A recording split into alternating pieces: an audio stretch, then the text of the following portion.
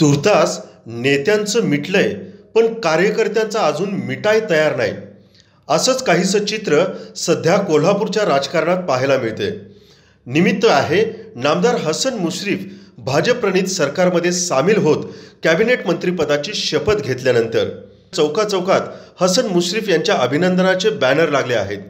त्यातच काल कागलमध्ये समरजित घाटगे यांनी आपल्या कार्यकर्त्यांचा मेळावा घेत आपण कागलमधूनच विधानसभा लढवणार असल्याची घोषणा केली.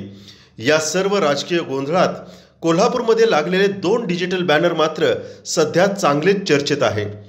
यापैकी ताराणी पुतळा येथे कॅबिनेट मंत्री हसन मुश्रीफ यांच्या अभिनंदनाचा फलक आहे.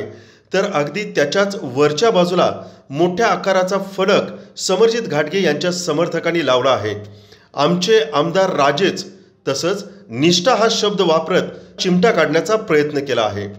तर दुसरा फलक जिल्हा बँकेने मुश्रीफ यांच्या अभिनंदनाचा लावला असला तरी त्यात आमचं ठरलंय असं म्हणत राजकारण करणाऱ्या पाटील गटाच्या संचालकांचे फोटो मात्र वगळल्याचं चित्र आहे.